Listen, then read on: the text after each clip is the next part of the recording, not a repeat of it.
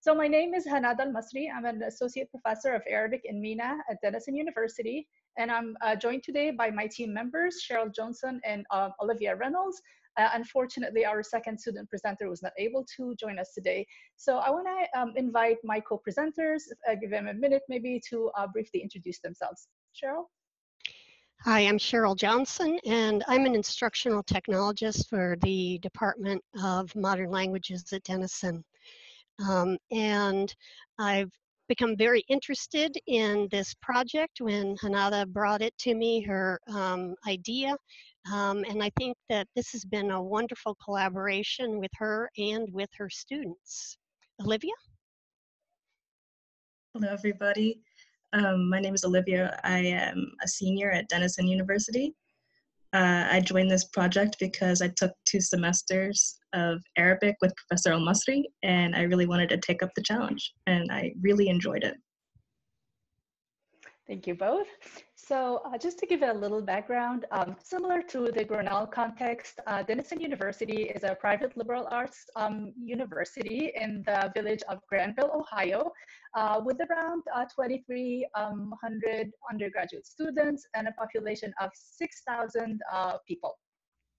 Uh, it's worth noting though that there's no presence of Arab American community except for my family. And so inspired by the limitation of the space and location, um, also by my positionality as an Arab American myself, as a professor of Arabic, as a one-person program, uh, I really thought of this project uh, in order to give opportunities for my students to practice the language with native speakers of Arabic. Um, so uh, Cheryl, next slide, please. Oh, this slide, it's okay. So now our project is entitled um, Oral History um, uh, digital collection project, the Arab American community in Central Ohio, and the theme is negotiating cultural identities and adapting traditions. So in today's presentation, uh, we will demonstrate how a group of um, Arabic and Middle East and North African studies uh, students came together to create this digital archive uh, about Amer Arab Americans. Uh, I personally will start with uh, addressing the logistical and pedagogical aspects of the project and uh, the process of building the archive. Uh, and maybe towards the end of the group presentation, I'll talk about the challenges that we faced and uh, uh the next step of how I use this archive into my own teaching. Cheryl will be talking about uh, and demonstrating the technological aspect and showing the platforms that we've used. And of course, our amazing uh, student will be talking about her experiences as a knowledge producer in this project. next, please. Uh, so this project started in the fall of 2018 uh, with the support uh, of uh, the, the uh, five colleges of Ohio Mellon, Mellon Digital Collection Grant. We also got support from Denison University Research Foundation, the Lisska Center for Scholarly Engagement, Alford Community Leadership and Involvement Center, and Modern Languages Patty Forstmann Fund. Um, so First and foremost, the project was created with the goal of enriching our students' experiences and connecting uh, their learning experience in class with a digital tool and with the community outreach to develop uh, many skills, linguistic, interpersonal, presentational, intercultural, and all of these skills, as we all know, are primary components of the 21st century uh, learning framework. And so, um, according to this student-centered project, um, which aims at creating that archive. We're collecting the histories and stories of, of Arab Americans in central Ohio. Uh, it's a large and diverse community, by the way. It has lots of cultural, socioeconomic, linguistic, educational backgrounds coming from 22 Arab countries. And in Ohio, they're centered in cities like Columbus, Dayton, Cleveland, Toledo, and Cincinnati. So uh, for the um, outcomes we hope to achieve in this project, uh, there are many facets really. So academically, we wanted to, to broaden our students' understanding of the Arab American community and also share that with the general American public through the platform. Uh, we wanted to provide an opportunity for MENA students to conduct research with the Middle Eastern community. Uh, and this is part of the requirements for MENA uh, that if students cannot travel abroad, then they can do a research project in a predominantly uh, uh, Middle Eastern community. We also wanted to focus on civic engagement and wanted to give back to the local community of Arab Americans by providing them with the cultural visibility that they deserve. So we do this through highlighting their contributions and engagement to their local, local communities. Um, we also want to minimize and eliminate misconceptions, especially that not all Arabs in America are refugees, first of all. And also, uh, we wanted to combat the negative stereotypes and biases that are normally associated with Arabs, especially um, more so in, in, today's political climate. And professionally, uh, we wanted to um, uh, create this as an open resource for other teachers of Arabic to use in their classrooms as well. As for our narrators, so uh, they represent diverse educational and socioeconomic backgrounds. They have migrated to the United States for a long, since a long time. So some of them have been here for over 40 years. And uh, our most recent interviewee was here for the past 15 years. So all Arab Americans, with the exception of one narrator who was um, a first generation Arab American. So the main research question that we wanted to tackle in this project is how do Arab Americans navigate their hyphenated identity? And so under this broader theme, we had uh, uh, three subfields for interview questions that cover the aspects of mobility and migration, uh, identity formation, and cultural aspects, and how the Arab community is adapting to their traditions from home to the new home. As for the interview format, so we, we collected six um, uh, face-to-face -face video interviews. Uh, the language of the interviews was both Arabic and English, depending on the speakers. Uh, and and uh, these interviews range between 40 minutes to 45 minutes um, in total. Um, so let's see. Yeah, next please. And so as, as you can all see, this is really, really a collaborative project. So we had students at the center of this as the producers of knowledge. Our so we started with a, with a total of nine team members. They came from different disciplinary backgrounds, and they all shared um, the, the fact that they have studied Arabic either as beginner or intermediate students. Uh, and we have Olivia as an example. Uh, all of them were really uh, uh, very enthusiastic, very dedicated, very passionate about the topic. When I mentioned the idea, they jumped to it. They're not taking credit for it, uh, except of course after they, the, the MENA student who thought about their own research. But but they really liked the idea of breaking out of the classroom context, out of the textbook, and and really start producing the knowledge.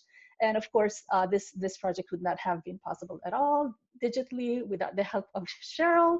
Uh, we are really fortunate to have her in our department. So Cheryl is responsible for all the digital back channeling of the project. We had uh, the director of the library, Debra Indieres, who is uh, responsible for hiring students officially in the project and overseeing the budget. And of course, our gratitude uh, go to the Arab American community who really volunteered, who were very passionate, who came forward to share their stories.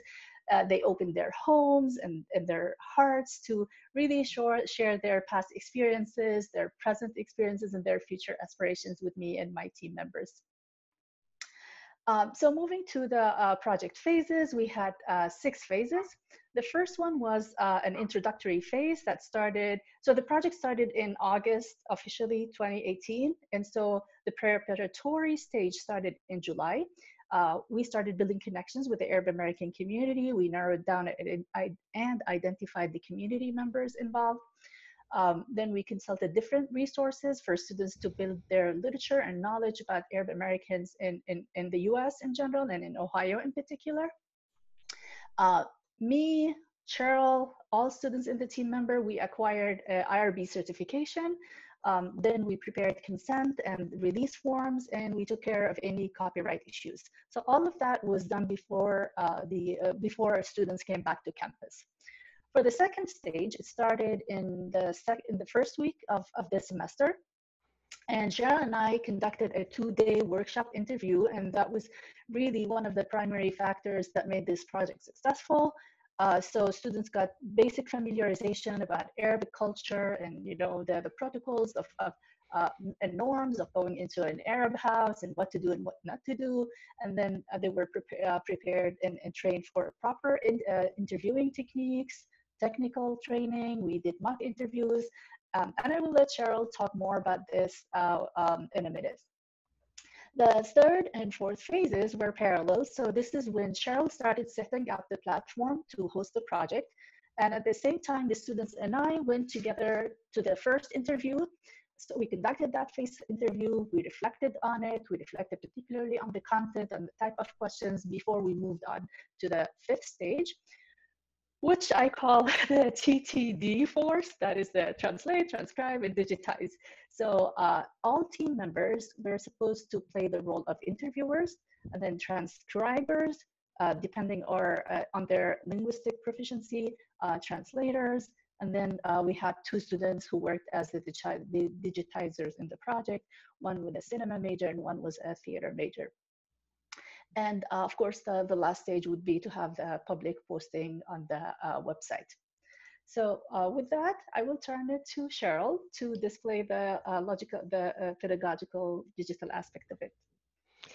So, after reviewing several oral history books that had been recommended to me when I attended a, a workshop um, the summer prior, um, I settled on this particular one Practicing Critical Oral History Connecting School and Community by Christine K. Lemley. Um, she wrote it for really a um, middle school, high school audience, but it it's excellent in giving you these five R's. And it's really an excellent basis for um, grounding your uh, this type of work.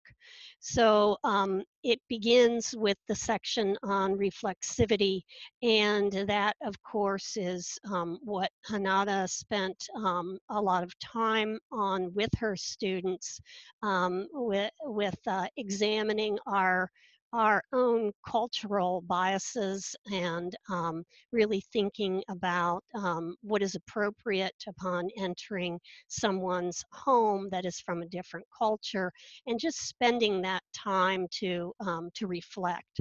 And um, then moving on to that re relationality and your responsibility when you're forming these relationships, how to responsibly um, retell um, as a co-creator in this oral history. That's one of the things that's heavily um, uh, eh, stressed in this uh, small text um, because eh, you really are co-creating with them a story, um, but you you want to make sure that um, their story is being well represented um, with the full respect that it deserves, and also this um, element of reciprocity.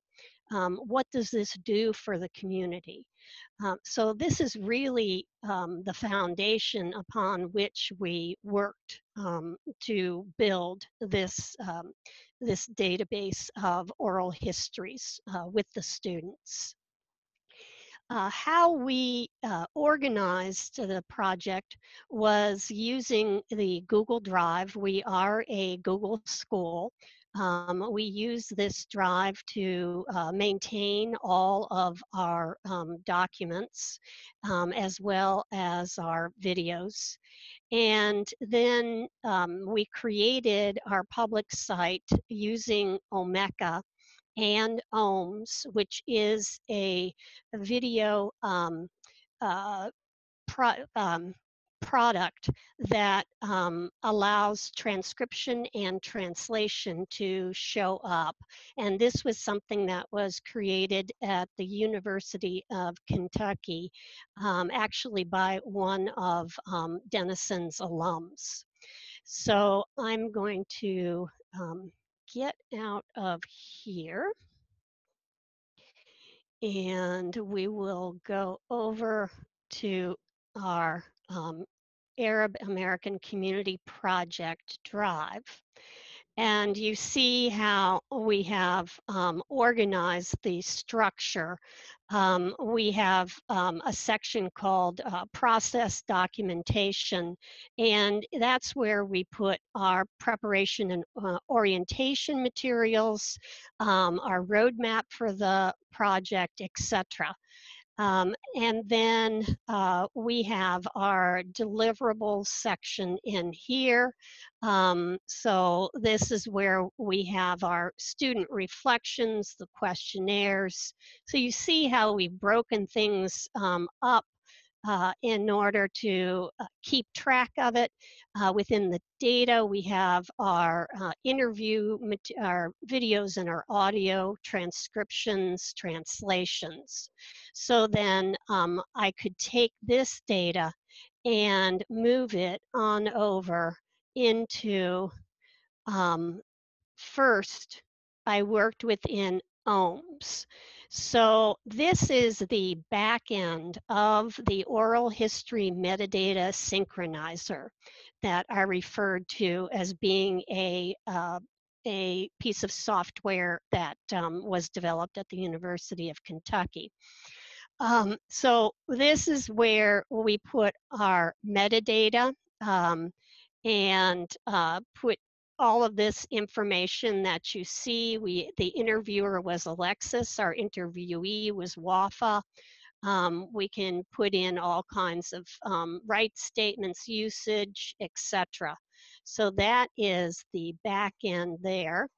Um, and um, we can see a preview of this particular video.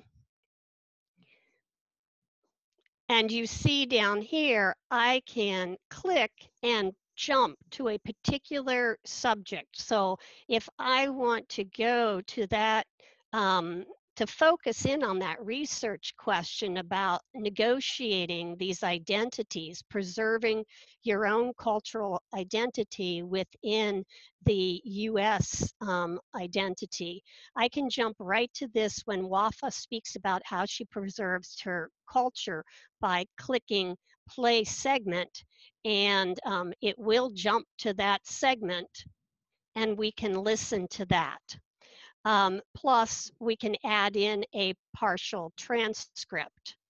We also have the ability to switch to the first transcript, and you see that it is all time coded. Um, and we can jump um, to that particular section. Um, we also have the ability uh, to switch to the Arabic view for that translation.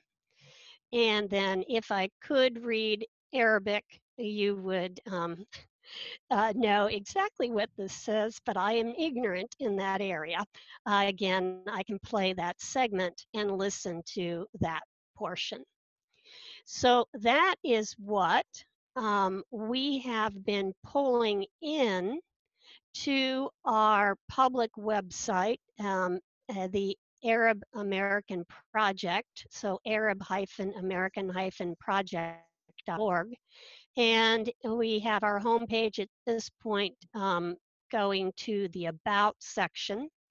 The Browse Items um, allows you to see what we have added to Omeka. So we do have some still images that we have um, put up there. And then we have uh, the various interviews.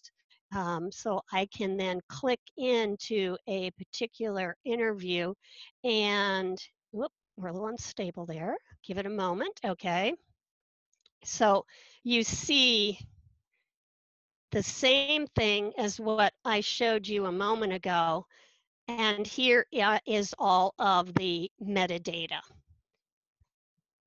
So that gives you an idea of what the front end looks um, like to the public. Let me now return to our presentation. And I'll turn it over to Olivia at this point. Uh, so hello again, everyone. Um, my name is Olivia, like I said earlier, I'm a senior at Denison, and I take I, I took um, two semesters of Arabic. So I'll describe first like what my role was, and then I'll talk about what I learned from the experience. So um, my role was interviewer, and I also helped translate and transcribe. Um, going into the interviews was kind of uh, nerve wracking for me. I'm generally a shy person, and speaking in Arabic is not my first language, so it was a little difficult, uh, especially conveying information and uh, you know having that kind of relationship. But it was a really worthwhile experience. I learned so much from it. Um, I think the interviews are my favorite part because um, you had to learn from people and got to interact with people in their homes, and we got to interact and chat, and they were so hospitable and they shared food and culture and they showed us artifacts from their homes pictures and medals and other things like that.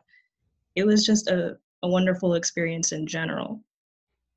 Um, the language part was pretty difficult for me especially um, but we had other teammates who were probably a little better adept at languages. Um, after the interviews, uh, we had the translation and transcription process. So uh, there was hours of footage, and we had to go through minute by minute and just transcribe all of what was said. Um, like not taking care to get all of the pauses and um, the intricacies of language, I guess. Um, there's definitely lots of set phrases that I remember learning in Arabic that I was like, oh, I I can hear that now uh, in all the um, interviews we had. So it was it was a learning experience for me. Uh, the transcription part especially was difficult. Um, just the formatting. I think it was said in the previous presentation. The formatting of uh, other languages in Microsoft Office is not very efficient, uh, especially Arabic.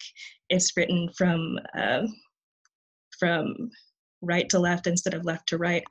So formatting was a little difficult to switch between languages. Um, but yeah, uh, next I'll talk about what I learned from the experience. Um, I think the most compelling uh, thing that I learned was um, was the negotiation of identity and how these people would um, kind of stay true to their roots and negotiate plural identities, Arab American. They were from all over the Arab world, from Egypt, from Syria, from Palestine and Jordan. And they are very not nationalistic, but they they love their country. They love where they come from, even though they may have come from some place that was maybe had civil unrest, and they came here for opportunities. Once they got here, they came and started from basically, you know, level one. Like they had to start over basically. Um, but they made it and it was really inspirational to hear their their stories of like coming up and and really becoming successful and you know uh, i also enjoyed when they were talking about how they share their culture with other people especially their neighbors and families and um, how they keep their identity within their families. I think one of the interviewees was talking about how she puts her children into um, like a religious school or a culture school where she can learn more about Arab culture, about Islam, and about the Quran. And that's really important about keeping their identities and sharing their identities uh, one cute story I remember offhand was um, I think it was Wafa who was talking about her daughter going to a neighbor's house uh, and they were eating s'mores, but uh, marshmallows are haram because they have gelatin. So she went back to the house and got um, gelatin-free marshmallows and brought them over and like taught her friends about you know Arab culture and Islam. And I thought that was a really cute way of compromise and sharing cultural identity. Um, now I'll talk about what my other friends and students talked about. Uh, this is from Adam, um, who was a videographer for the project. He said, uh, going into this project, I wasn't sure what to expect. I'd never done anything like this before, Each interview I'd go on, I'm continually surprised and delighted by these stories. Sorry. The homes, no problem. Uh, the stories, the homes, the families, their similarities and their differences. The hospitality is overwhelming, and editing has been a blast getting to relive each experience, as has the ability to work with everyone else involved in the project. Next slide. Uh, this is from Jimmy.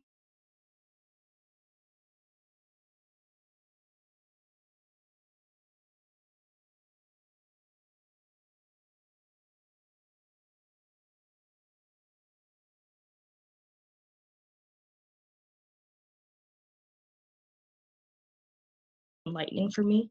It was deeply saddening to hear about their struggles as well. Alienation and harassment were both common themes throughout the interviews. Hearing about these negative experiences really affirmed my belief in the importance of this project so that others can learn about the experiences fellow Americans and feel the need for change as I did. Uh, to go off of that slide, um, basically what he was talking about, the common issue about harassment and discrimination. I one of the stories was um, uh, at like one of the mosques, local mosques. There was uh, a, a, protester, and uh, basically the protester protester was being very hateful.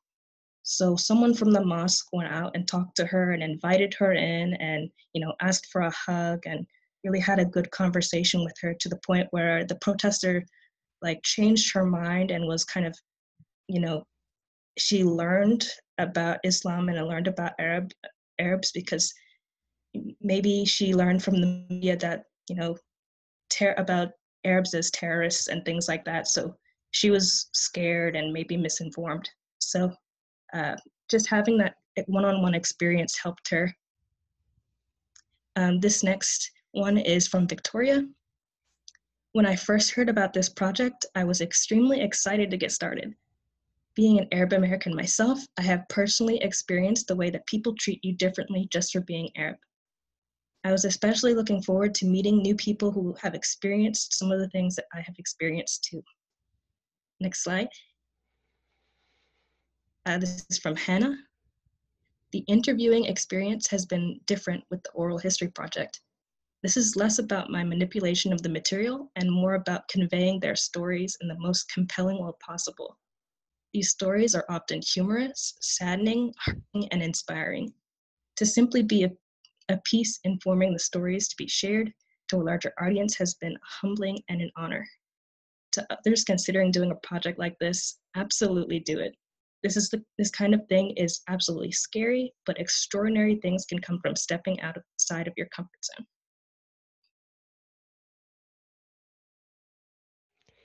Okay, that covers all of our student comments. Um, Olivia, can you comment a little bit uh, very briefly about um, the experience for the orientation that we gave you with practicing um, the interview skills? I figured it would be better from your perspective than mine. Yeah, we took a lot of training. Uh, I remember the IRB testing about how to um, how to go into the interviews with respect and learning those kind of not conversation skills communication skills and that kind of thing. Um, the most helpful part for me was the um, practicing um, practicing the interviews because i was particularly nervous uh, going